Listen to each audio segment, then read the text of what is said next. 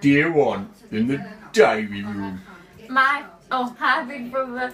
My favourite memory of Meg is when we went to Eureka and the bin said that you were very laughing. We were very laughing. Um, and my other favourite memory is when this year in Spain with Dad and Laura when I smashed you across the face and you came chasing me down the stairs and I slipped. Bye.